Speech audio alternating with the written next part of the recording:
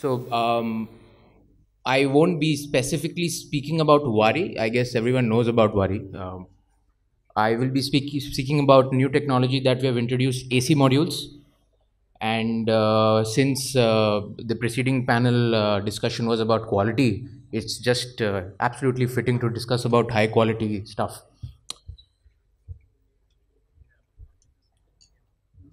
Yeah, yeah. Thank you so much.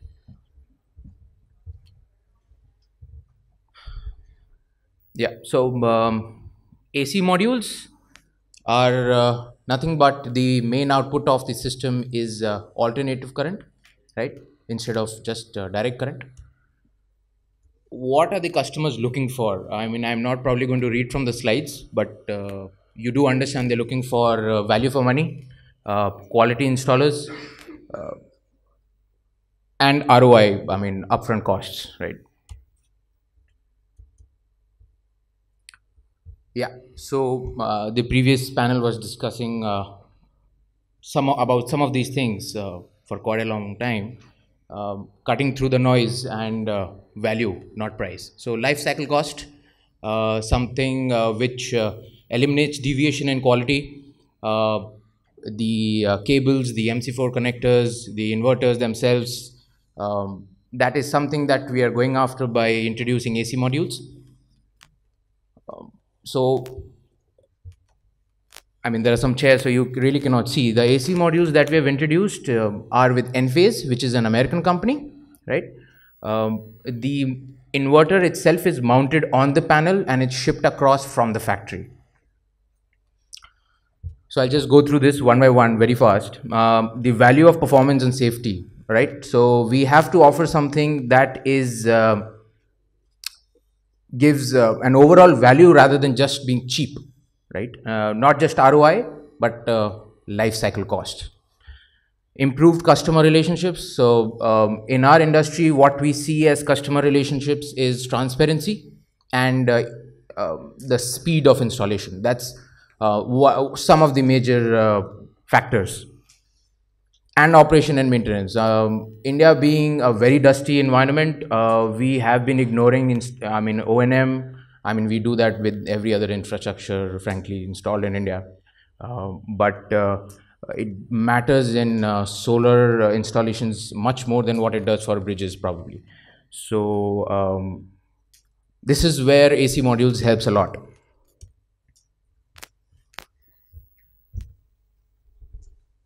So AC module system advantages for customers, easier maintenance and upgrade. Um, like the, we were discussing about the uh, quality deviations in panels, different ratings of panels, uh, different qualities. You will eliminate any module mismatch uh, losses because each panel has its own inverter, right? Um, each panel can be monitored i mean rather than just having an entire bunch of 50 60 kilowatt systems being monitored or even string being monitored 20 kilowatt systems you can monitor each panel. So that's unprecedented level of monitoring. Um, retrofitting is much more easier. You do not have to worry about the weakest panel dictating the performance of the entire string. So I, I suppose most of us understand that, and that's a big killer as far as rooftop is concerned, uh, shadows and uh, whatnot. These systems, I mean, I just mentioned O&M. So the O&M team will understand when to conduct or when to shut down the system and do major overhauls uh, because shutting down the system is loss of revenue. And when you do understand what is the issue, that really helps you out. So, um, yeah. Higher production, best savings. Obviously, since you do not have much of the losses associated with the string inverters, you are going to have higher production. Uh, to quantify that higher production, you should expect anywhere between 8 to 10% of higher generation for the same system. Um, I'm not really going to get into uh, details of the system uptime. That's something that depends on the quality of inverters you're comparing it with. But uh, you are going to get much higher uptimes for uh, uh, microinverter based systems or AC modules rather over here. The second point I've already spoken about the first point, so each panel is independent. The second point, burst technology lets uh, microinverter produce more at dawn and dusk. Now for rooftops and um, yeah, mostly rooftops, the energy is most uh, expensive during those parts of the day. And producing more energy during the morning and the evenings is very important. So if you look at the bell curve of the generation, you will see that AC modules have a much more broader, have much more broader shoulders, have a fatter curve. So that is a really big uh, component of AC modules if you really get into the depth of it. So low light conditions um, and you will have effectively higher number of working hours. So when we talk about the thumb rule of 4 units per kilowatt peak per day, you are effectively going to get 4.4, 4.5 more reliable because this is a potted system, uh, completely potted. Um, in fact, uh, we have been very actively looking at floating systems in which uh, we completely eliminate the costs of DC wiring because we really do not need any DC wiring, it's just plug and play. Um, it's extremely reliable. We are giving 10 years of warranty on this. Uh, we can give you 25 years also, but 10 years is something which is uh, uh, standard right now, which is in contrast to 5 years of string inverters. So if one panel goes down, it doesn't affect the others. I mean, that's quite obvious. Uh, so 300, 600 watt of system is going to go down at once, not nothing more than that. The infant mortality rate of these systems are already taken care of. You will never get a faulty system because we have more than 1 million hours of testing done from the factory itself, from the assembling itself. Yeah, so safety. Um, 800 900 volts of dc wire running on top of a head uh, customers don't really understand that or don't really uh, i mean uh, the integrators don't really uh, educate the customers about it but that's really scary if you ask me you look at the chinese market which has much higher numbers of installation you'll see that uh, a fire that breaks out because of uh, dc can cut through sheet metal like butter and given the fact that many small manuf I mean, uh, integrators use uh, less than optimal MC4 connectors and they do not really understand how crimping is done. Uh, you can understand the safety hazard associated with having a high voltage uh, string level uh, uh, systems. So over here, when we are speaking about AC modules, on the string side, we have 230 or 415 AC voltage. So exactly the same that you're going to get on your plug sockets at home and plus uh, some of you the electrical guys over here you would understand the uh, arc quenching effect of AC is much much more easier compared to DC so schools um, textile factories um, wherever there's they have a little higher uh, or a little lower tolerance rather for uh, fire hazard. Uh, this is something which is absolutely brilliant for them. Um, it conforms to a lot of uh, safety regulations. Uh, rooftop market in India is quite uh, nascent. It's quite small compared to uh, the Western market. I mean, in America, uh, from where Enphase is from, uh, they're very strict about the rooftop safety. And this is where we are trying to introduce to the Indian market.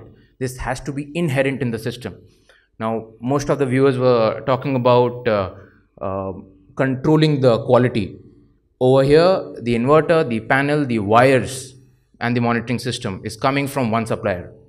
So everything is controlled. It's just one source of supply. So deviations in quality are minimal, right?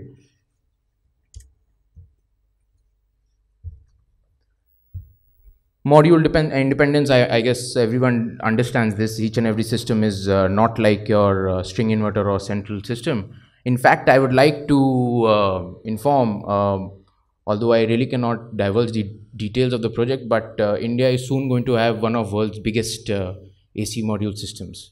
So uh, that is a very good thing and uh, uh, people do understand that uh, India is not just a low cost market, but quality is also accepted. I mean, यहाँ पे सब कुछ बिकता है कचरे से कचरा भी बिकेगा और अच्छे से अच्छा भी बिकता है right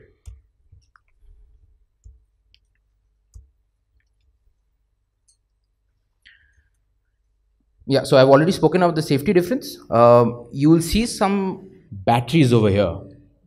Uh, we are moving towards battery energy storage systems and uh, as uh, these systems evolve, uh, the newer systems of our inverters have uh, higher, have lower component counts and we are able to talk to the inverters directly. So we are going to have hybrid capabilities built in and when the energy storage markets does progress, utility scale or or rooftop scale, either of it, uh, we will be in a position to talk to the batteries much more efficiently and we'll have a much more stable system at hand.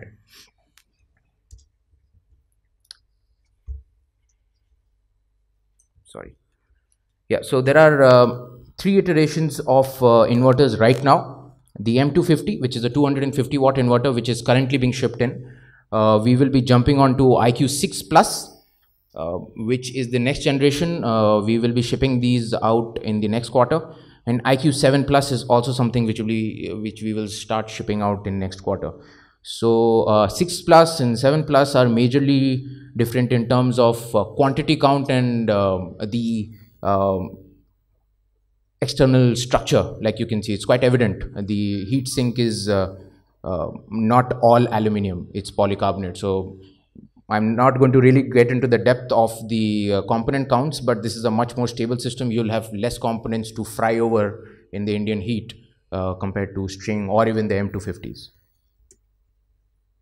Yeah, so these are the two methodologies that we are looking at. The M250 is mounted onto the string. So this should give you a fair bit of idea what I'm talking about. Uh, this is the M250 mounted directly to the frame I mean, you can mount it to the structure also, but uh, this completely eliminates uh, any labor at site. And uh, so you can see the uh, AC output also. And on the side, uh, you can see the IQ system, which is backsheet based. So you do not, we are not going to be interacting with the frame at all. You can have frameless modules as well. Um, these systems are going to be stuck on the backsheet. Yeah so i mean um, stuck on the back sheet. Some people are going to ask me what about the heat? Or how you're going to manage the temperature? Uh, so better cooling better integration to the module lesser dependence on quality of site engineer supervisor. I mean we have already uh, spoken about this and uh, uh battery energy storage system integration. So we are moving uh, more and more towards uh, much more vertically integrated supplier base. Communication this is one of the forte of our AC modules. Each module can be monitored. We do not have any separate line of communication cables running through the entire system. We have power line communication. PLC stands for power line communication. And uh, this is handled by the Envoy monitoring. Typically, each, each Envoy monitoring system can handle up to 600 systems.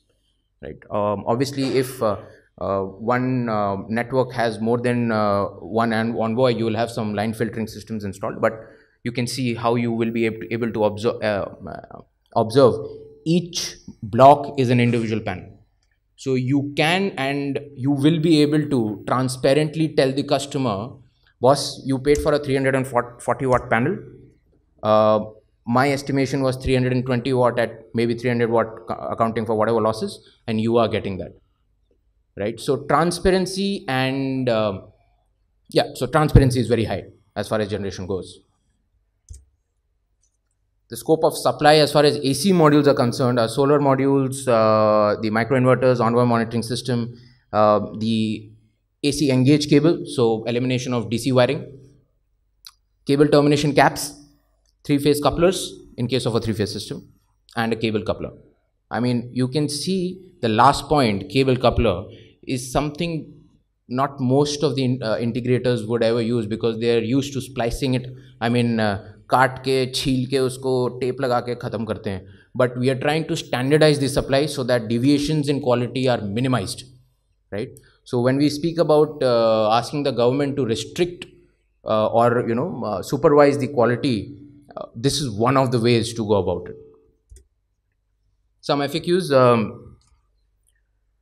या so it's installed on the frame itself 10 years of uh, warranty on the inverter out of the box. Obviously, we can give you 25 years of warranty also. 2 years on the BOS. What is the life of the inverter? More than 25 years. So, as uh, so if some are from an IPP field or a RESCO field, you are looking at an asset. You do not need to figure out uh, replacement costs of inverters on the 12th year. Once installed, forget it. You do not have to replace it. Overloading, um, we have been mating 340, 350 watt panels with 250 watt inverters. So overloading goes above 30%. Uh, we have experienced less than 0.3% uh, clipping losses. So that's quite fantastic. And uh, there are no issues uh, with respect to um, duration. So how do you replace the failed components? Wherever I have gone, everyone asks me, boss, अगर एक fail हो गया तो replace कैसे करेगा? वो तो panel के पीछे लगा हुआ है। So the two systems frame mount each module will have to be lifted removed and fitted back for I Q systems which are stuck on to the back sheet the entire system I mean you really cannot try out the stuck in inverter will have to completely replace it so that's I mean that's one of the cons if you ask me you have to go to the panel site and remove it and do it but I guess it doesn't really take much time and uh, it's uh, you are not losing 50, 40 50 kilowatt of generation whenever there is a failure. Taxation 5% on the entire scope right? Because it's coming out as one component as part of the solar panel. That's it. Thank you. Any questions?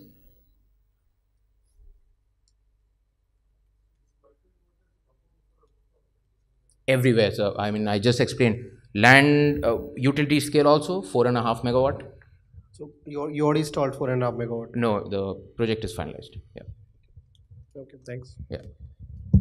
So i mean for rooftop that's fantastic because you will have multiple orientations.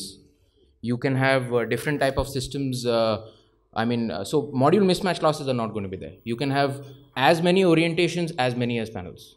So you do not have to worry about those things. What is the voltage level ac voltage level? 230 volts or 415 so it's, I mean, uh, your home socket level. Okay. Anything else? Any questions? Okay, thank you.